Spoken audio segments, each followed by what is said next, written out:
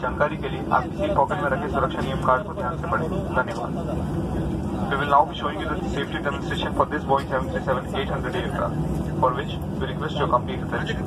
To fasten your seatbelt